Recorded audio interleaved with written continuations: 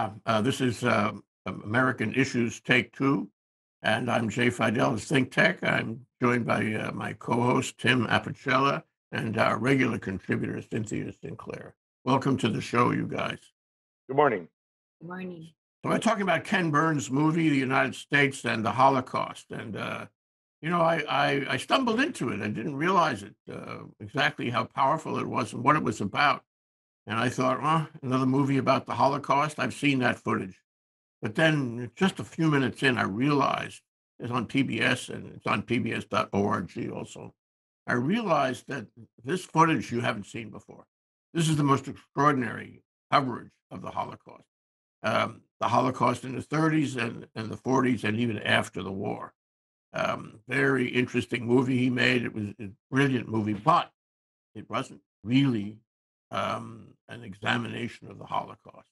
It was an examination of the United States reaction and support of the Holocaust. And that was the part that really scares you. Why does it scare you? A, because you didn't know about this, or if you did, you didn't have a full understanding. And B, this is what's been happening in our country. Uh, the country is turning to the right, it's turning to bigotry in many ways. And our former president was leading the charge on bigotry as well as insurrection and sedition. So we are in crisis now, and we can make parallels to what happened in Nazi Germany in the 30s. The movie makes it clear. Okay, so let's discuss why it makes it clear and to the extent to which it makes it clear. Uh, Tim Apicella, you know, were you aware of the connection? Were you aware of the uh, anti anti-Semitism and bigotry in this country in the 30s and 40s? Did this movie teach you anything about uh, a parallel between what's going on here, what is going on here, um, and what what happened in Germany in the 30s? Uh, yeah, Jay. Uh, you know, I knew quite a bit. I, I'm a big fan of history, and um, I knew quite a bit, but not nearly as much as I learned out of this Ken Burns series. And what I learned, I, I knew that there were um, fascist groups, actually Nazi groups on the East Coast uh, in the 1930s and, and 40s. And uh, there was a sense of isolation from the United States that they didn't want to get involved in another war. Um, so I knew all that. I didn't know to the extent on how it manifested itself in our government, this uh, anti-immigration and um, really, um, they, you know, this this I won't say hatred, but this um, this movement specifically against the Jews from um, immigrating from Germany into the United States. And what was the chief uh, agency for blocking that was the State Department. And you know, I've just there was a great show on last night on PBS about the State Department and how it refused to let black uh, people uh, work in the State Department. And um, you know, went into great detail about the background of everyone who worked in the State Department. Uh, were you know uh, the graduates from Yale or Harvard, and it was a white-dominated male um, society. And with that came, I think, um, anti-immigration sentiments. And uh, there was the Johnson Reed Act that basically put quota uh, system on immigration. And that system lasted well into the 1950s. And so when people realized what Herr Hitler was up to and the march to fascism, um, one or two waves of, of Jews got out of Germany and did and were successful to immigrate into the United States. But what happened is the quota system really kicked in, and now that that immigration uh, was turned off at the spigot to a trickle, and therefore people couldn't get their families out, or or they couldn't get out at all, and um, there was a real anti-Semitic feeling in this country that uh, we didn't want to bring Europe's war onto the front doorstep of the United States. So this uh, hard and fast anti-immigration feeling was really the basis of our, you know, racism and and avoidance to address what was happening in Europe, and that's why that sense of isolation was very hard to break. So yeah, I learned a lot. Yeah. And Cynthia, to the extent you looked at it, uh, did you find parallels between what happened in Germany under uh, Hitler's um, evolution and what was happening in the U.S. Uh, in the 30s and the 40s? Well, I found all kind of kinds of parallels, and it also, I was shocked. Um, I had no idea. Here I thought I was this, you know, protesting hippie that stood up for the underdog. I had no clue that the very last um, uh, one that happened was uh, 1981 is commonly listed as the year in which Oregon performed the last legal forced sterilization in US history. That's what the eugenics program was. And that was what started in America. The Nazis in 1936, the Nazi propaganda was defending their forced sterilization policies um, by citing what was happening in the US. So it's not like we just supported it, we supported it in different ways by example, even. And I mean, I was just shocked. The very first legal one, um, the Michigan State legislature became the very first in the country to pass a forced sterilization law. And they they sort of couched it in these very uh, you know, unspecific terms of the feeble-minded, trying to, you know, uh, breed out all of the feeble-minded people. In reality, it was used for people of color more than anything. And I can't help but think about what happened to all the American Indians too. Boy, it was rampantly used for those guys. They uh, across the board sterilized people well into the 80s. And so this isn't just something that stopped in the 30s. Granted, after the Holocaust, and we found out about the horrors that were happening at the hands of Hitler and his, you know, and the Nazis, the Americans started to finally wake up and say, wait a minute, maybe this isn't so great. It's being used the wrong way. But so often Americans, we like to wear this badge of we're the accepting, you know, non-racist country. We're all, you know, give us your tired, you're poor. And in reality, from day one, we were starting to try to get rid of any other minority from our gene pool or whatever. And that just horrifies me. So often I feel like I'm a little embarrassed to be white, you know, um, because of the atrocities that have been done in the name of we're the best race and and i think wow and it's still going on today. And like you were saying with the setup here about how do i find any parallels to the us back then and germany of course but i find parallels between now and then. Um, i see this um, this sort of slide back in history kind of thing where we're we're more um amenable to doing this sort of thing again. Because after all you know there's no room for these um crummy people that are coming into the the country. We we want the ones the white ones that are from you know northern europe and things like that. We don't we don't want any of these other uh you know asylum seekers. And that just really gets me because i think who do we think we are that we're so perfect, us white people? You know, where did we get this idea that we're so perfect and everybody else isn't? And I think by our behavior, we are the least perfect of anybody. You know, Tim, um, there there were indications early on in the Trump uh, in the Trump world in his term of office. We can talk about after his term of office in a minute. Um, for example, Charlottesville where it, it seemed to pop out uh, and uh, where his bigotry was revealed, um, but also uh, in his attempt to um, make, to corrupt the federal government, to corrupt the agencies and the officials. Uh, and I'm and I'm thinking of the the Comey Rule, the movie, Mhm. and I'm thinking of that exquisite moment where he attempted to, um, you know, develop this kind of uh, to to the death loyalty uh, with James Comey. Um, there are there are markers in what we know about Trump's four years Uh, we don't know everything, by the way. I think we have to agree on that. Um, but you and I have been discussing the parallel um, between Trump's administration, his wishes, his moves, so many things, and so many books and articles and stories on, on, on national cable TV um, that it's, um, you know, it's inescapable, don't you think? Um, that Trump follows a path that is frighteningly similar to what Hitler did. Did this movie bring that up for you?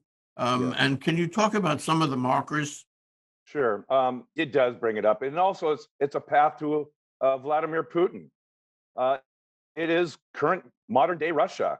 Uh, Putin is by definition an autocrat fascist. Uh, he, he in 2000 he got the stage as a democratic um, trying to move the Soviet Union to a democratic path, but he, he's reverted back to the days of Stalin. And and what are the telltale markers of that? Well, with fascism or nationalism, it's the telltale marker of restrictive immigration, blaming the people that are coming in the country because of race or religion. Uh, they're the source of your problem. And that's a telltale mark of fascism slash propaganda. Find the scapegoat, identify the scapegoat.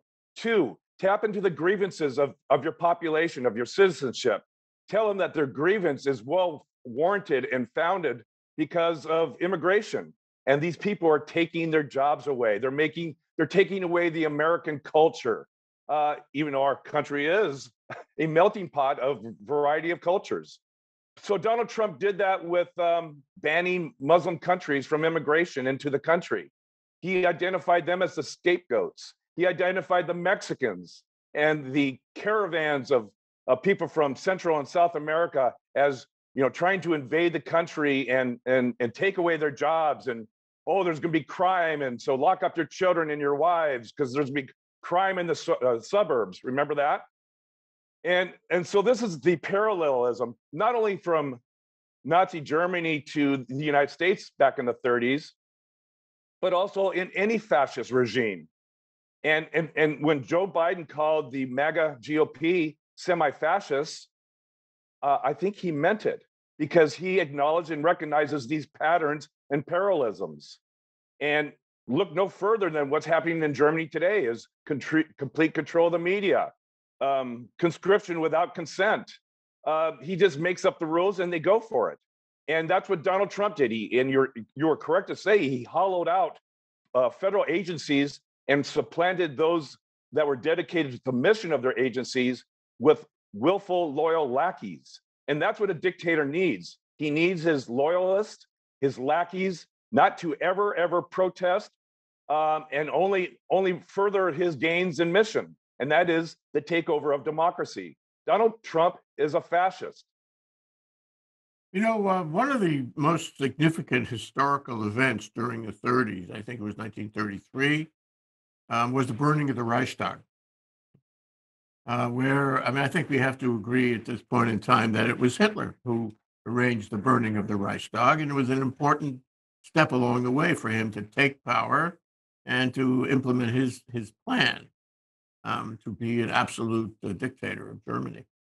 And a lot of people went along with it. They did go along with it. It's not like they didn't know he was an absolute dictator of Germany. Uh, it's not like they didn't know the steps he was taking in order to achieve that. But it strikes me, Cynthia, that the burning of the Reichstag was so symbolic, so violent, and reminiscent of January 6th. Uh, it's, it goes on the same continuum. Do you feel there's a parallel there?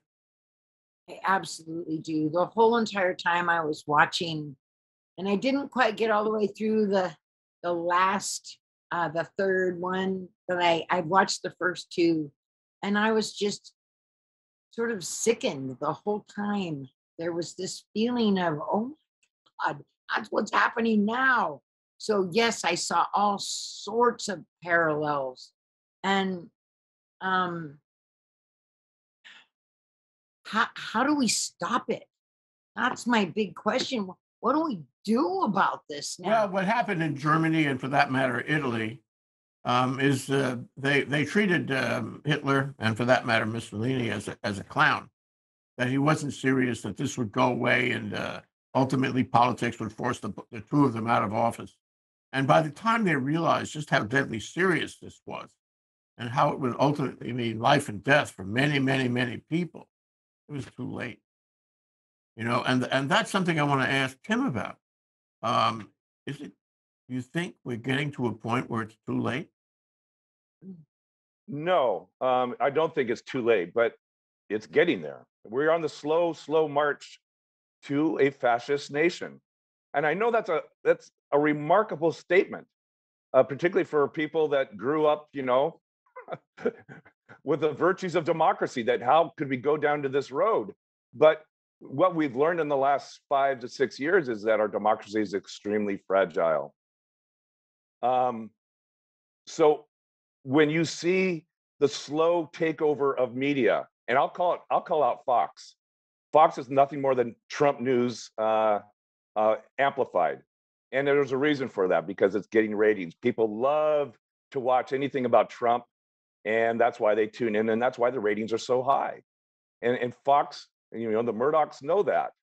Uh, so there's there's the infiltration of media. These again, the infiltration of government agencies with loyalists. There's the infiltration of, of scapegoating, and that scapegoating is immigrants. So we've seen all sorts of signs on the slow march to that. At some point, there's a tipping point, and I don't know where that is. Is it too How, late how to about correct? November? How about November of 2022? You know, the, you, you, you say slow march, um, but these things have a way of um, knitting together under the hood and then Okay, well, popping up. And that's that's what happened with Hitler, and it's also what happened with with Putin in his efforts in Chechnya. Here- Here's a telltale sign um, that we are going to reach a milestone here, and that is we have many election deniers who have won the primaries. They have bought into the big lie. The big lie is that the Trump election was stolen from them, the, the presidential election. That's the big lie. They have all bought into it. They've all pounded it on their chest. They've said, "That's I'm a candidate and I support the big lie." They won their primaries. Now the milestone test is will they win the general? And if they do, uh, that should be a flare, a big bright red flare before the nation saying, hey, we just made a quantum leap towards fascism because they're going to stop free and fair elections in the future. That's not a slow change. That's a fast change right there in November. Okay, I'll buy that. I'll buy that. 40 days away. Mm, Cynthia, I want to ask you about about the process uh, that came up in the in the, in the these episodes uh, in the Ken Burns. Um, you know, of course, Hitler wanted to use anti-Semitism and various other, um, you know, uh, bigotry initiatives uh, against the people in Germany who he felt that the Germans um, didn't like, and he wanted to use them, uh, you know, as as as a way to gain power, and he did that very effectively. On the other hand, um, the death camps were secret. He didn't talk about it, and we only found out, you know, the horror of the death camps after the war, when in large part American troops liberated those those camps and were horrified. so you know what what you have is uh, more than just using the bigotry of the country as a way to enhance his power. He was on a mission to eradicate the Jews. And indeed, you know, we forget that he was controlling a good part of Europe, and he was implementing that, um, you know, um, that attempt to eradicate Jews in all parts of Europe where he occupied. For example, Kristallnacht in uh, 1938 did not happen just in Berlin. It did not happen just in Germany. It happened in all of the areas, including the Sudetenland, um, you know, that that that Hitler was uh, occupying, and and those shops were broken, and the, the Jews were beat up on the streets, and Kristallnacht all over Europe. He had a plan, and he had an organization that could, you know, develop and implement that plan. Now, part of the plan, of course, uh, was to take rights away from the Jews. So ordinary middle class Jewish families found they couldn't go to school anymore, um, that they would be uh, ostracized uh, in so many ways. They couldn't own businesses, the businesses were taken away. Uh, their property was taken away. Their civil and human rights were taken away. Little by little, these regulations, you know, and he and he timed it so that he wouldn't have a big uh, pushback uh, from the German people. Um, and little by little, he made these people into into non-people. You know, by the time they got to the death camps, they really had nothing. Okay, so at some point in time, according to the Ken Burns, uh, you know, film, um, uh, they realized they got to get out of Germany, and they went east to Russia. They they went all over Europe to try to get out. They went to places that that uh, ultimately Hitler found them in, you know, in in France and in, in the Low Countries, uh, Belgium and uh, Netherlands and so forth. And what is what is scary is that these are the very people who thought Hitler was a joke. And two or three years later, he wasn't a joke. He had stripped them of their citizenship, of their property, of their civil rights. And that happened, you know, really in the in the timing of history pretty quickly. Do you think, this is my question, do you think that people in this country realize what it means to have a successful coup, what it means um, to have the GOP running Congress and running the government in terms of the loss of their civil rights and the treatment of minority groups? Do you think people know the parallel in the way it worked in Germany and in various other places in Europe in the 30s and the 40s? Do they know they can they can lose that middle class opportunity, the human rights, the quality of life they have had, or are they oblivious? I don't think they do realize. And and the evidence of that is how many people are Holocaust deniers. People that say it didn't happen. And then because it's so watered down when it's taught in history class, younger kids don't even know about it. I'm shocked at how many kids don't know about it, especially when I was working as a children's minister in the South. The kids had never even heard of it. And these are high school kids, they'd never heard of it. And so that I think is evidence that no, people don't understand. And even adults who don't want to understand, they don't. They they would rather not think about it and they use the excuse of, oh, oh, it's too ugly. I, I just can't handle it. I can't think of those things. Yet while they, you know, put their blinders on, it's happening again. You know, there's another movie called The Garden of the Finzi Contini, In the Garden of the Finzi Contini. This is a remake of a 1950s black and white movie, and it was made in the 80s. And it's it's about a family, a Jewish family in a, a town called Ferrara, which is uh, near Rome. And uh, they lived a sweet life. They had a tennis court and a pool. Uh, their friends came over. Uh, they they drove classic cars. They were happy as they could be, and they were oblivious. And one day, the Nazis came and rounded them up in their mansion, and and and took them into into the machine. And so it's that same thing. What what what are you doing? You know, uh, my name is Finzi Contini. You can't touch me. Oh yes, we can. And that was the end of them. They all died in the death camps. but I want to turn to something else, Tim, uh, and that is uh, the State Department. You mentioned it earlier. Um, we, had, we had a serious problem with the State Department, and and the and the Burns film talks about how FDR was reluctant not only to declare war, took Pearl Harbor and the declaration of war against the United States uh, by both Germany and Italy a, a few months later um, to get Congress to go along with him on the declaration of war. It's not only that, though. Um, there were people in this country, you know, we remember from our history lessons uh, Father Coughlin, uh, Coughlin, and we remember um, Charles Lindbergh, both of whom were Nazis and bigots, and who were very influential on the newfound, um, you know, uh, leverage of radio.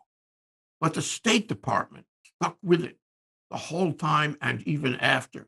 You mentioned that the immigration laws were not reformed to allow Jews to come in until sometime in the 50s, long after the war was over. And, and the State Department blocked giving visas. You know, the, the story of the, the ship St. Louis, the ship that couldn't find a place um, you know, to dock and back and forth. And ultimately, they wound up back in Europe again, trying to escape the Nazis. You know, this is a th- that part of the continuum in Germany where people could and would and had ways they thought to escape Germany. There came a time, as you as you will find, as people will find if they watch the, this these uh, episodes, that Hitler said, "Well, we have to develop a final solution here. We don't want to. We don't want to give them any rights. We don't want to let them out. Uh, we want to, you know, dehumanize them in every way possible. Um, but they're still alive. And what we have to do is we have to make a machine to kill them, uh, all of them. And he tried hard. And in fact, in in Europe, two out of three Jews were killed. Two thirds of all the Jews in Europe were killed. Um, the Holocaust was very nearly successful, and the American position on it, according to Ken Burns, is we're not going to bomb the camps to terminate the death, you know, the, the ovens and the like. On, uh, we're going to put our focus on winning the war. Um, unfortunately, it took them longer than they thought to win the war. And while they were winning the war, um, the ovens were going full steam 24 by 7. It's very ironic. But the State Department was part of that, and they apparently um, acted as a, a kind of barrier for FDR uh, to protect the Jews and allow the visa. Can you talk about that? Sure. You know, it was the um, head of the uh, Department of Treasurer who who basically he and uh, his um, you know, people he's he he found to help him was to try to find a bill that would give aid to the refugees. That passed. That passed, and it went over to the State Department, and it was shelved for months and months.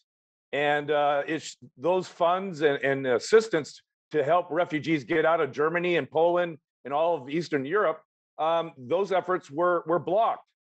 And and what does that say about you know a, a United States agency proactively working to keep refugees in a country where they are being exterminated? And we knew they were being exterminated. I know Herr Hitler tried to cover up, but we knew it. It was in the papers. Might have been on page five, page six. In some cases, it was page one and two but, but people didn't believe the numbers. They thought it was hyperbolic.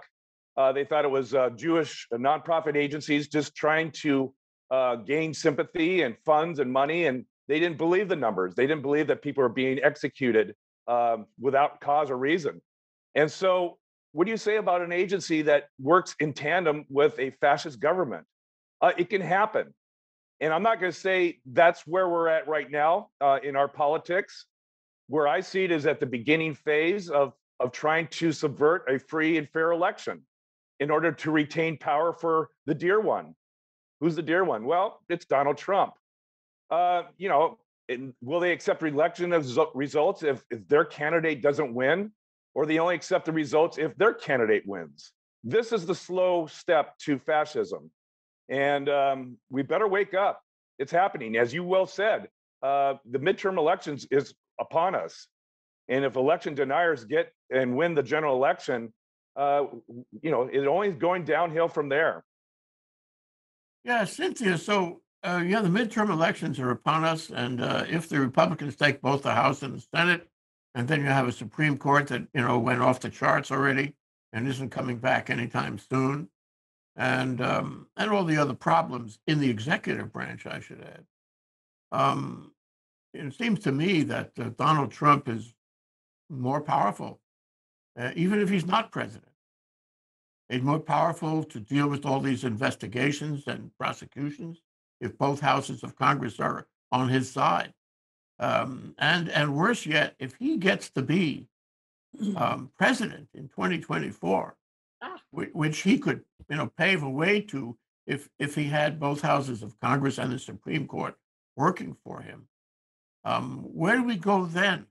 Um, do you think that we will be able to retain our, uh civil rights, uh, our humanity, uh, if eh, forget forget 2024 for a moment, just 2022, Mhm. uh, 40 days away? How will that affect things? How will that affect this this continuum, this uh, as Tim calls it, the, the march to the march to fascism? Um, we're toast. Sorry, I guess we're toast. There's no way. If we don't make some more headway because there are certain things that have got to be codified and put into law so that we're protected from a very right wing partisan Supreme Court. Um, and we need to remember when we, you know, we just sort of touched on Charlottesville for a second and how that's when it all started. And we, unless that's when it started, it's just that's when we got to see it. And and what were they chanting? Not we are great. They were chanting, Jews will not replace us. And that's how backwards and ignorant these people are, and how much they justify their anti Semitism and their racism. And to me, it's just disgusting. And the fact that they are as prolific as they are right now, even with a democratically held Congress and White House, if they are still this powerful now, think about what would happen if they get in back in charge of Congress. That's it, we're toast. And I mean, I don't say that lightly because I really believe if we don't um, continue to maintain some hold on power so we can get some solid voting rights again and all of that, we know that these people are willing to cheat to get what they want. And if they're willing to cheat to get what they want back then in 2020, they're willing to cheat to get what they want now. And that's what they're going to do. They're going to cheat so they can get what they want. And and that is terrifying.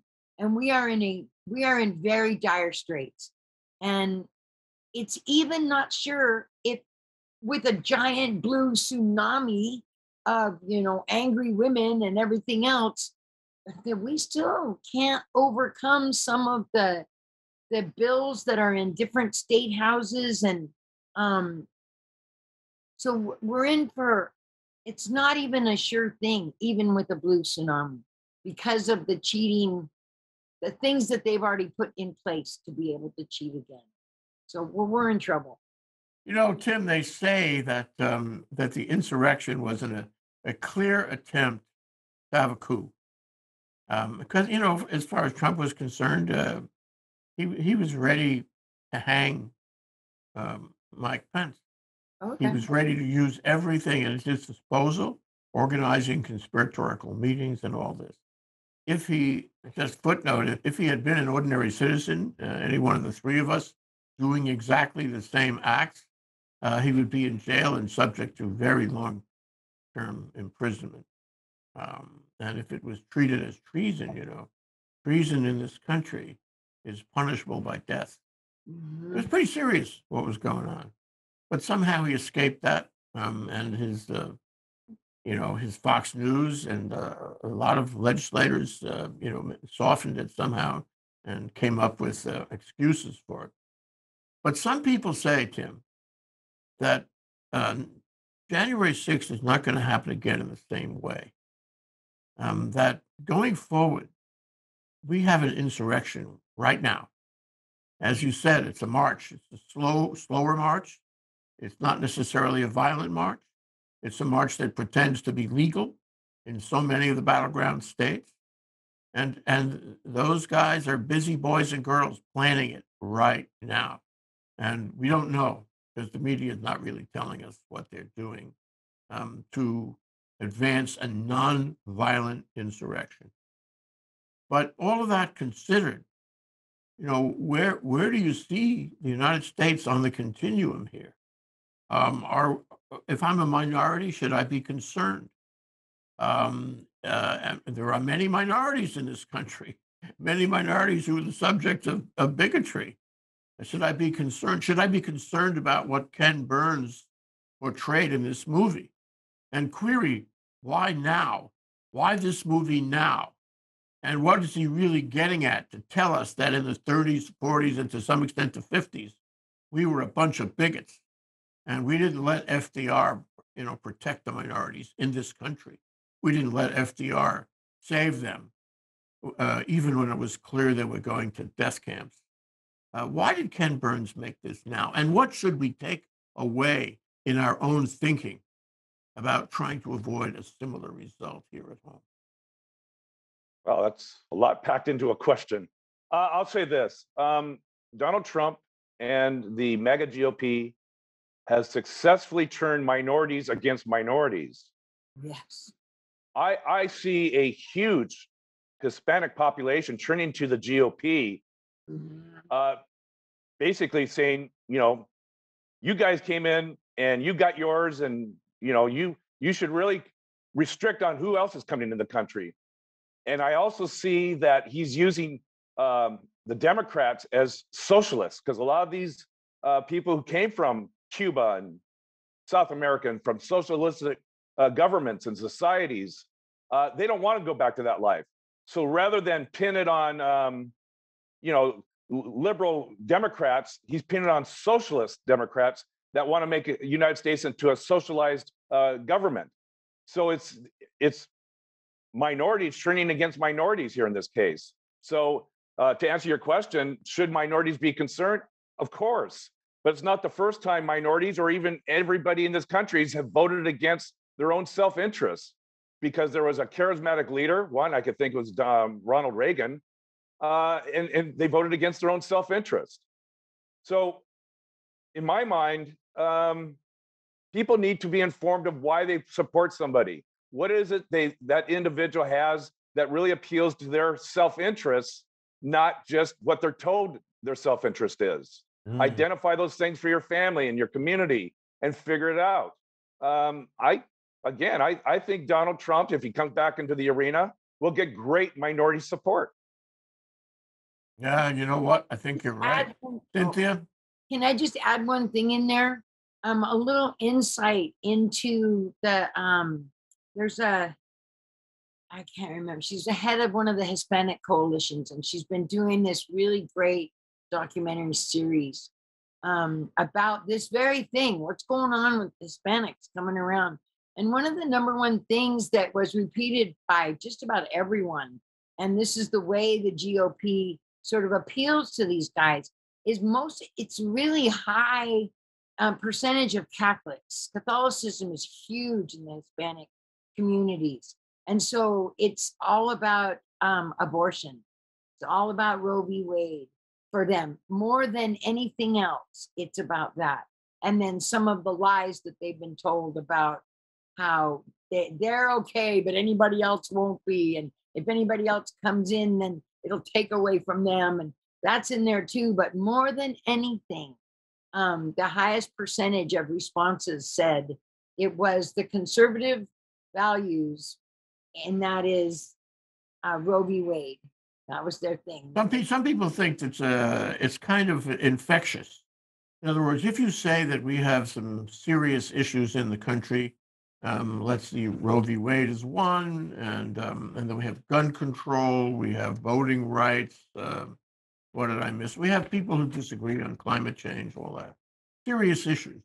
But what the GOP does, and, and what it's done with the Latino group, is you find an entry point one issue, okay, and then you infect the people who join the crowd with all the other issues. So Right. before you know it, you have somebody who you know enters into the the right wing of things on on something like abortion, and all of a sudden they're in exactly the same position as GOP is on Yeah. all of the other issues, even though they really don't care or shouldn't care. Uh, it's Yeah, I think we should do another show on this topic because it's we're running out of time. I think it's a great topic, and I, I think you're spot on. Let's go. Let's go to final uh, statements. Uh, Cynthia, what what would you leave with our uh, audience today? I have a quote. I have a quote from uh, Justice Oliver Wendell Holmes from 1927. Um, and he was the one who wrote the uh, majority. Uh, it was an eight to one in Buck v. Bell that uh, it uh, legalized the sterilization stuff. He's quoted as saying, it is better for all the world if instead of waiting to execute degenerate offspring for crime or to let them starve for their imbecility, society can prevent those who are manifestly unfit from continuing their kind. Ooh. That was the Supreme Court judge saying that. Wow. Well, that's your Supreme Court, not mine.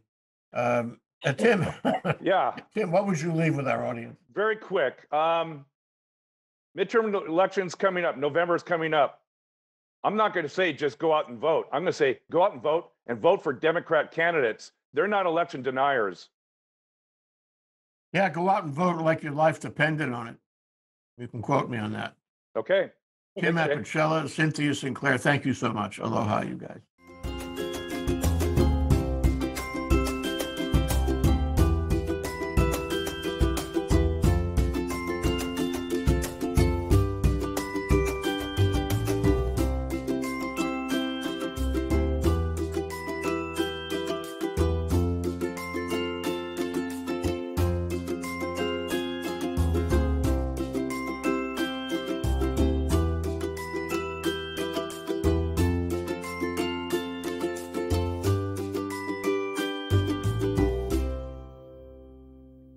Thank you so much for watching Think Tech Hawaii.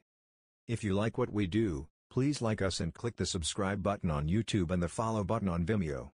You can also follow us on Facebook, Instagram, Twitter, and LinkedIn, and donate to us at thinktechhawaii.com. Mahalo.